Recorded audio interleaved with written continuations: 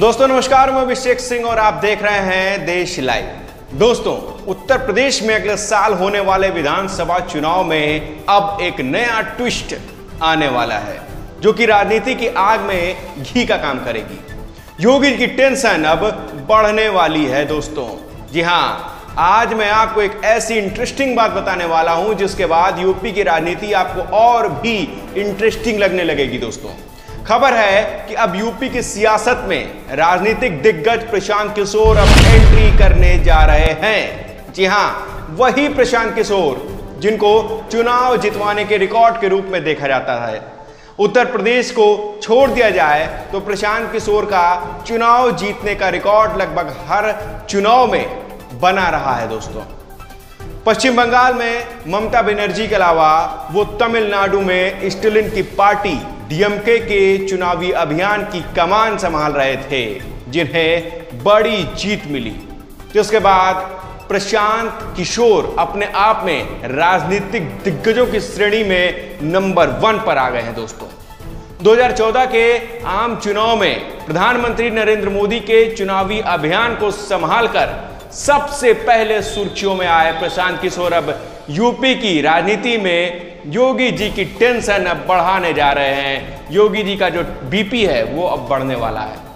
उत्तर प्रदेश में अगले साल विधानसभा चुनाव होने वाले हैं और इस बार देखा जा रहा है कि कई राजनीतिक जो दल हैं, देश के बड़े सूबे में अपनी ज़मीन खोजने की तैयारी कर रहे हैं। एआईएमआईएम के चीफ असदुद्दीन ओवैसी पहले ही 100 सीटों पर लड़ने का ऐलान कर चुके हैं। कई छोटे दल सपा के साथ गठबंधन करके चुनाव लड़ने का विचार कर रहे हैं। तो वहीं इस बार राष्ट्रमंच भी यूपी के सियासी जंग में कूद सकता है। अगर ऐसा हुआ तो चुनावी रणनीतिकार प्रशांत किशोर भी यूपी में महत्वपूर्ण भूमिका निभाएँगे। दोस्तों, अगर प्रशांत आएँगे तो ज़ाहिर सी बात है, बीजेपी इस कॉन्फिडेंस से मैदान में आती है, जिस कॉन्फिडेंस से वो आती है, कूदती है, उसका सारा कॉन्फिडेंस उनके आते ही धाराशाही हो जाता है। इसका ताज़ा उदाहरण अगर मैं आपको बताऊँ तो कुछ दिन पहले ही जब पश्चिम बंगाल में आम चुनाव की तैयारी चल रही थी तो उस समय टीएमसी को कड़ा मुकाबला देने के बाद जब बीजेपी पूरे आक्रामक रूप से विधानसभा चुनाव के लिए खुद को तैयार कर रही थी तब ममता बनर्जी की अगुवाई में टीएमसी पूरी तरह से रक्षात्मक मोड में चल रही थी। जी रक्षात्मक मूड में पूरी तरह से टीएमसी थी। बीजेपी लगातार हावी हो रही थी। ममता बनर्जी ने इससे उबरने के लिए प्रशांत किशोर को अपने साथ जोड़ा था। प्रशांत के आने के बाद ज़मीन पर इसका असर बहुत ज़्यादा तो नहीं दिखा, पर एक के बाद एक नई टीएमसी को छोड़ करके नेता जो है वो जाने लगे थे।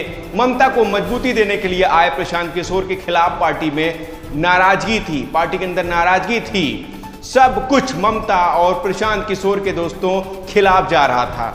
लेकिन तभी 21 दिसंबर को प्रशांत किशोर ने स्वभाव जो उनका है उसके विपरीत उन्होंने ट्वीट किया कि अगर बीजेपी इस चुनाव में 100 सीट से अधिक पार करेगी तो वो अपना काम हमेशा के लिए छोड़ देंगे।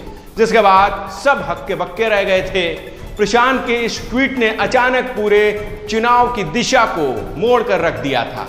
ऐसे समय जब बीजेपी पूरे आत्मविश्वास के साथ आगे बढ़ रही थी तब प्रशांत किशोर के दावे को कुछ लोगों ने आत्मघाती या अति आत्मविश्वास वाला बताया था दोस्तों। लेकिन बाद में वो रुके नहीं। वोटों की गिनती से दो दिन पहले तक वो अपने दावे और वादे दोहराते रहे, जिसके बाद आए नतीजों ने एक बार फिर से प्रशांत किशोर को राजनीति का महारथी बना दिया है। दोस्तों, आपको बता दें कि आम आदमी पार्टी भी यूपी में अब ताल ठोक चुकी है। जैसा कि मैंने पिछली वीडियो में आपको दिखाया कि कैसे आम आदमी पार्टी यूपी में हुए घोटालों को लेकर के लगातार प्रदर्शन कर रही है। सरकार के विरोध में धरने पर बैठी हुई है।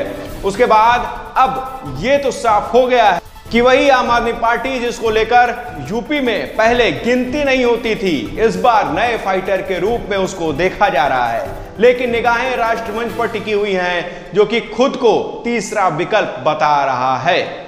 अगर ममता बनर्जी और शरद पवार यूपी में आए, साथ में प्रशांत किशोर भी आ सकते हैं और उनकी एंट्री हो सकती है। पीके और ममता बनर्जी की एंट्री सत्तारूढ़ दल की चिंता बढ़ा सकता है। कारण यह भी है कि बीते दिनों पश्चिम बंगाल के चुनाव भाजपा के पक्ष में नहीं रहे। वहीं प्रशांत किशोर ने बड़ी भूमिका निभाई थी। पिछले दिनों वो शरद पवार के संपर्क में थे। इसमें कोई शक नहीं कि उत्तर प्रदेश में वर्तमान में सत्तारूढ़ दल के लिए चुनौतीपूर्ण परिस्थितियाँ हैं। कोरोना की दूसरी लहर के दौरान सरकार की छवि को धक्का लगा है। इसका फ़ायदा दूसरे दल उठा सकते हैं। वहीं दूसरी तरफ़ पश्चिमी यूपी के किसान भी सरकार के विरोध में हैं। पश्चिम यूपी में किसान आंदोलन की वजह से भाजपा को चुनौती का सामना करना पड़ रहा है। उधर, कुछ दिन पहले ही टीएमसी के यशवंत सिन्हा ने राकेश टिकैत से मुलाकात की थी। राकेश टिकैत कई किसान नेताओं के साथ, ममता के साथ मिल चुके हैं और ऐसे में ये साफ़ है कि इस बार ममता भी यूपी में ताल ठोक सकती हैं। राकेश टिकैत पहले ही कहते रहे हैं कि वो चुनाव के दौरान जनसभाएँ करेंगे और लोगों से भाजपा को वोट न देने की अपील करेंगे। हालाँकि उन्होंने ये नहीं बताया है कि वो किस पार्टी को वोट देंगे और किस पार्टी के साथ वो चलेंगे। पर इससे ये तो साफ़ है कि अगर ममता की एंट्री यूपी में हुई तो उसमें प्रशांत किशोर का तड़का लगना कुछ कमाल तो ज़रूर दिखाएगा। जिसके बाद यूपी में जो मुख्यमंत्री हैं योगी आदित्यनाथ जिनकी महत्वपूर्ण भूमिका बताई जा रही है जो लगाया जा रहा है कि अंदाज़ा कि इस समय सबसे मज़बूत दावेदार हैं उनकी टेंशन बढ़ सकती है उनका बीपी बढ़ सकता है। अपने आप में ये आ, ऐसी खबर है जिसके बाद से बीजेपी में कहीं ना कहीं खलबली मच सकती है। दोस्तों ये खबर आपको कैसी लगी आप कमेंट बॉक्स में ज़रूर बताएँ। हमें लाइक करें, हमें सब्सक्राइब करें, हमें आगे बढ़ाएँ। तब तक के लिए नमस्कार। फिर आगे आऊँगा नई रिपोर्ट को लेकर के, नई खबर को लेकर के, जिसके बाद आप हमें पसंद करने लगेंगे। दोस्तों, नमस्कार।